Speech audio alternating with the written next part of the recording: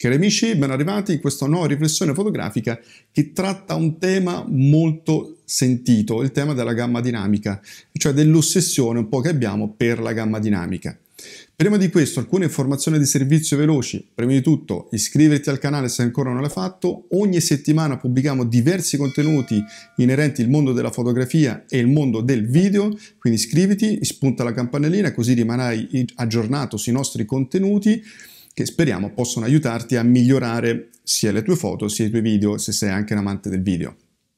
Ti ricordo anche che queste eh, l'audio almeno di questi video, di queste riflessioni fotografiche, le puoi ascoltare in versione podcast, vai sulla tua piattaforma preferita e cerca riflessioni fotografiche, insomma ci trovi e puoi ascoltare, ripeto, la versione audio ehm, dei video, di alcuni video che pubblichiamo sul nostro canale. Ti ricordo anche che in descrizione a questo video lascio i link ai nostri corsi online, dallo scatto alla stampa Fine Art il corso bianco e nero Fine Art. Se tu clicchi sul link vai sulla pagina di presentazione, ci sono dei video che ti spiegano il perché e per come può essere un'opportunità per te e voglio anche ringraziare pubblicamente tutti coloro, le centinaia di persone che già si sono iscritti e che concretamente ci date la possibilità di continuare a creare e a pubblicare contenuti sui canali, eh, canali social, YouTube come in questo caso, ma anche il blog promirrorless.it e anche Facebook gruppo Promirrorless. Bene, torniamo a bomba sull'argomento gamma dinamica. È un'ossessione? Sì, è un'ossessione in parte legittima perché credo che tutti quanti noi, insomma, fotografi digitali, e che magari sono passati dall'analogico al digitale hanno avuto difficoltà o a volte hanno difficoltà nel gestire situazioni ad alto contrasto. E quindi c'è un, un'ossessione oggettiva, no? c'è un bisogno oggettivo. Poi questa ossessione è chiaramente pompata, alimentata anche dai eh, costruttori o di alcuni diciamo, laboratori più o meno indipendenti che eh, fanno i loro test e pubblicano dati mirabolanti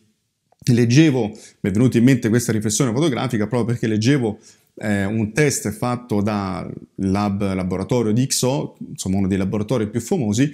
che eh, afferma, dichiara che la uh, Hasselblad 1XD, insomma Mark II, mi sembra che questa sia la sigla, comunque l'ultima fotocamera medio formato mirrorless di Hasselblad, è in grado di raggiungere addirittura 14.8 eh, stop di gamma dinamica a 100 ISO che è un risultato pazzesco, anche i produttori no, dichiarano 15 stop, 16 stop, 13 stop, come se fosse praticamente acqua fresca, cioè dichiarazioni incredibili che alla fin fine tutti quanti noi dei dubbi ci vengono, o meglio, alcuni ci credono, cioè alcuni non riflettono oppure non hanno esperienza per poter capire che questo valore è assolutamente virtuale non sto dicendo che sia falso, sto dicendo che è virtuale, adesso proverò a spiegare perché,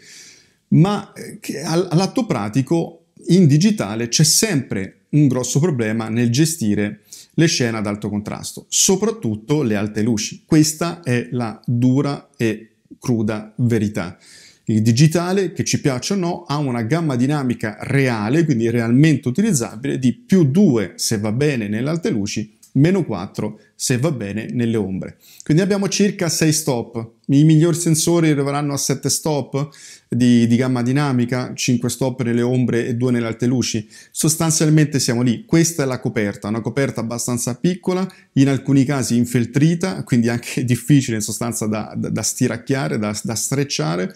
ma questa è la verità. Quindi abbiamo a che fare con un valore ben lungi da quello che viene dichiarato spesso dalle case produttrici o da alcuni laboratori. Stanno dichiarando il falso? No, è semplicemente che il test che viene fatto, spesso anche a monte della demosacizzazione, quindi è un,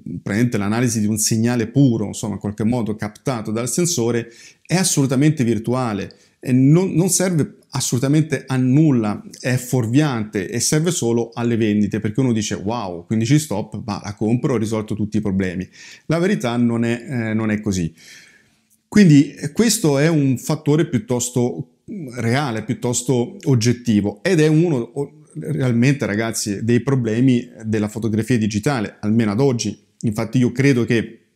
sicuramente negli ultimi 15 anni, 20 anni, ma diciamo 15 anni ad oggi, diciamo dal 2000 2003 circa, insomma, dalle nascite delle prime reflex eh, digitali più evolute, Sicuramente c'è stata del, dell'evoluzione, ci sono stati dei miglioramenti per quanto riguarda la gamma dinamica, i sensori a livello hardware sono stati ottimizzati, perfezionati, la circuiteria è stata ehm, come dire, ottimizzata per evitare che si crei del rumore, eccetera, eccetera. Questo io non dico che non sia così, va anche detto che c'è stata anche una grande evoluzione dei software di conversione RAW e lo dimostra il fatto che se voi prendete magari un file, se avete scattato, se scattate da parecchi anni in digitale, prendete prendete un file delle vecchie fotocamere digitali, lo andate a riprire oggi con i migliori convertitori RAW e è come se i file avessero una nuova giovinezza, come se quella fotocamera fosse stata, avesse un sensore molto più moderno di quanto ricordavate. Perché? Perché chiaramente anche i convertitori RAW si sono evoluti enormemente. Eh, recentemente DxO ha eh, pubblicato, ha, insomma, ha pubblicato, ha reso disponibile un nuovo software, il DxO Pure RAW, che praticamente applica un algoritmo per eh, migliorare notevolmente eh, la demosacizzazione e anche la riduzione del rumore, oltre che eh, il micro dettaglio e, eh, e, praticamente fotocamere del 2009, del 2008, 2007, insomma di, di diverso tempo fa, eh, che sono ovviamente compatibili con il software, eh, sembra come se fossero fotocamere di recentissime, quindi eh, il software ha un peso importantissimo e avrà un peso ancora più importante, ma magari ne parlo in una riflessione fotografica separata. Quindi in sostanza Sicuramente c'è stato un progresso negli anni del, a livello hardware, un grande progresso a livello software, ma purtroppo il digitale è rimasto limitato di fatto su un aspetto, che è un aspetto chiave però per la qualità d'immagine, che è la gamma dinamica nelle alte luci. Se noi torniamo indietro ai tempi, diciamo, della eh, pellicola, anzi torniamo indietro, facciamo un parallelo con l'analogico perché l'analogico, grazie a Dio, esiste, nella pellicola positiva, le famose diapositive, sostanzialmente la gamma dinamica era un po' quella da sensori digitali, forse era anche addirittura peggio in alcuni casi, quindi avevi chiaramente un margine, una coperta molto corta, diciamo circa 5 stop, e dovevi essere molto bravo a tenere in gamma soprattutto le alte luci, tant'è che si diceva sviluppa per le luci, no?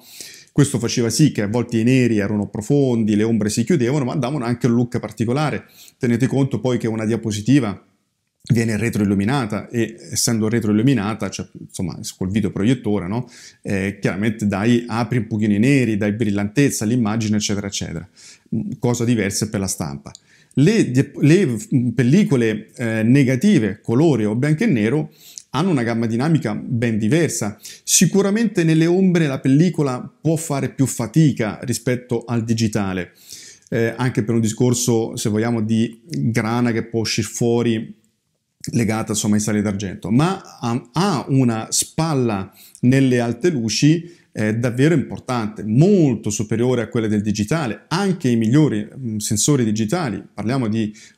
capacità di coprire tranquillamente 3 stop, 4 e in alcuni casi anche 5 stop, magari con un piccolo aiutino in fase di sviluppo. Quindi sostanzialmente eh, la coperta è molto più ampia, forse è un pochino meno di margine nelle ombre, ma avere tanto margine nelle alte luci è davvero una manna dal cielo. È molto meglio, a mio giudizio, avere spalla nelle alte luci piuttosto che nelle ombre. E quindi se io posso schiarire le ombre, alla fine devo fare solo attenzione a non, a non andare fuori scala con le alte luci. Sì, ragazzi, questo è vero, è quello che la maggior parte dei fotografi fanno, poi nel paesaggio si può applicare un filtro di gradante, insomma ci possono essere delle strategie, si possono applicare delle, ehm, una sorta di, eh, di, di, di blending tra fotocamere, quindi di fusione tra fotografie più che fotocamere con eh, una sovra, una sottoesposizione, si uniscono, eccetera, eccetera. Quindi ci sono sicuramente delle strategie che eh, ci permettono di tamponare i limiti nelle, eh, nelle alte luci ed avere un'immagine dal look eh, con una gamma dinamica più ampia, dal look un pochino più naturale, verosimile, diciamo in questo modo. Però questo intanto ci fa capire che se devo ricorrere a queste strategie, evidentemente c'è comunque un problema di gamma dinamica e questi famosi 13, 12, 15 stop poi non ci sono nella realtà, se non non a livello, ripeto, virtuale in laboratorio. Seconda cosa, eh, effettivamente se io faccio questo processo di schiarire le ombre, i rischi eh, di avere un'immagine con un look da cartone animato, tra virgolette, è, insomma, è molto elevato. Sicuramente vi sarà capitato anche a voi di eh, vedere insomma, sulla rete non solo immagini che soprattutto paesaggistiche dove spesso in quel caso c'è un grosso problema no, di gestione della gamma dinamica, eh, immagini con ombre assolutamente troppo aperte oppure comunque con i mezzi toni impastati che hanno perso quella, ehm, come dire, quella ehm, brillantezza, no? quella chiarezza, quella luminosità che comunque mezzo, i mezzi toni dovrebbero avere, eh, le luci troppo recuperate e quindi anche lì si capisce che non sono a giusto livello di luminosità, cioè in sostanza doverci mettere sempre una pezza, tra virgolette, aumenta notevolmente il rischio che fai delle cose poi di pessima qualità. E infatti, diciamo, la resa migliore ce l'hai, un po' anche questo avveniva a pellicola, quando tu cerchi di compensare, penso nella, nella ritrattistica, questo divario eh, di contrasto tra le alte luci e le ombre con l'aggiunta di una luce ausiliaria, con un fill-in per quanto riguarda il flash, una luce continua, un pannello di schiarita, eccetera, eccetera. In questo modo cerchi di compensare, come avviene anche nel cinema, per fare un esempio, insomma, eh, in tutte le produzioni eh, più o meno professionali, cerchi di compensare questo contrasto. Ma perché fai, fai, tutto ciò? Perché la gamma dinamica in realtà, ragazzi, è limitata. Quindi non crediamo alle favolette di Babbo Natale, cioè apriamo gli occhi, svegliamoci, non facciamoci abbindolare da eh, annunci mirabolanti di case produttrici o di laboratori che hanno tutto l'interesse a eh, chiaramente diffondere certi eh, dati per incoraggiare la persona un pochino più meno attenta, meno accorta, meno, con meno esperienza nel credere che con quel mezzo riuscirà ad avere una gamma dinamica eh, immensa e enorme, quando nella realtà non è così e soprattutto è da notare come, ripeto, sono passati tanti anni, ma sostanzialmente il digitale ancora non ha fatto, a mio giudizio, ha, due passi fondamentali. Uno appunto nella gestione delle alte luci, cioè nell'avere una spalla eh, che permetta eh, di recuperare, di tenere in gamma anche eh, più di due stop, diciamo, massimi di, di, di, di, differenza, di contrasto tra ombre e alte luci, eh, anzi tra mezzi toni, cioè tra grigio medio e alte luci. E l'altra evoluzione importante che non è avvenuta nel mondo del digitale è il tema della profondità colore, cioè il superare questa maledettissima matrice Bayer che ormai ci accompagna da quando è nato la fotografia digitale eh, è, stata, è nata insieme alla fotografia digitale, proprio con i primi sensori digitali, e che ancora oggi comunque crea, a mio giudizio, eh, un piccolo grande gap rispetto ad esempio alla fotografia analogica, proprio nella profondità colore, nella capacità di cogliere piccole sfumature e nel riprodurre soprattutto alcuni colori, tipo il verde, l'azzurro, eccetera, eh, in modo naturale, in modo più, più veritiero. Queste sono cose che magari se ne accorge più un occhio un pochino più clinico, un pochino più attento,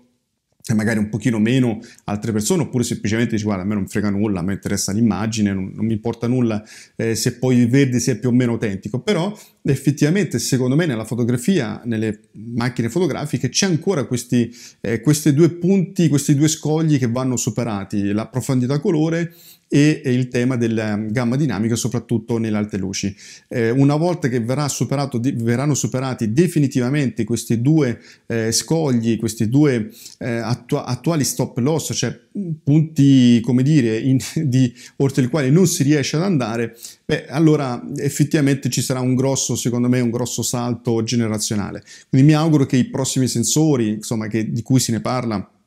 ormai da tempo come sensore organico, ad esempio di Pana Fuji, che stanno sviluppando insieme, possa ad esempio lavorare su questo, oppure che eh, magari Sony eh, tiri fuori un'altra magia dal suo cappello, oppure Canon, chiunque esso sia, non ha importanza, eh, per veramente far fare un salto di qualità, un, pro, un, un progresso ulteriore alla, al mondo della fotografia digitale e aiutarci eh, ad avvicinarci il più possibile al, quantomeno ai, ai, ai, plus della fotografia analogica che erano, almeno nella fotografia negativa, era la gamma dinamica, soprattutto nelle alte luci, e poi questa profondità nelle sfumature colore che insomma eh, purtroppo non sempre riusciamo a vedere nostre, nelle nostre immagini digitali. Ok, questa era un po' la riflessione eh, di, di, oggi appunto su questa ossessione legata alla gamma dinamica che spesso è indotta da eh, test, ripeto, non falsi assolutamente, ma sono test fuorvianti e, e che in realtà, ripeto, la nostra coperta, più o meno corta, eh, più o meno stiracchiata, è quella di, a mio giudizio, dei famosi 4 uh, più o meno 2 stop sulle alte luci, 4 nelle ombre e 2 nelle alte luci. Vorrei sapere il tuo pensiero, se eh, cosa ne pensi rispetto a quello che ti ho detto, qual è la tua esperienza e se effettivamente non ti trovi con le dichiarazioni che spesso si leggono in rete. Aspetto i tuoi commenti, com- lascialo in descrizione al video e ti ricordo anche i nostri corsi eh, online, i link li trovi in descrizione e se ti fa piacere iscriviti al canale. Ciao, ci vediamo alla prossima riflessione fotografica. Ciao ciao.